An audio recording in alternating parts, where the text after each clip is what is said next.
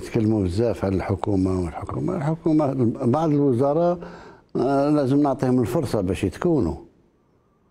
لأن المهم ان ناخذ وزير جديد ماهوش ملوث. من من طرف العصابة والشيء اللي جرى في البلاد.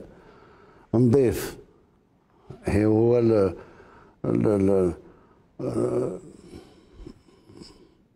ال critère principal.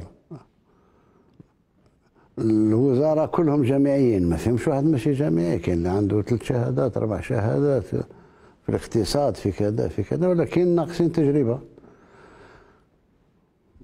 أغلبهم عندهم إرادة. والتجربة تكتسب. ما تجيش بال ها؟ بالممارسة بال بالمثابرة هذه بال في ربما اللي كاين اللي فشلوا. نشوفوا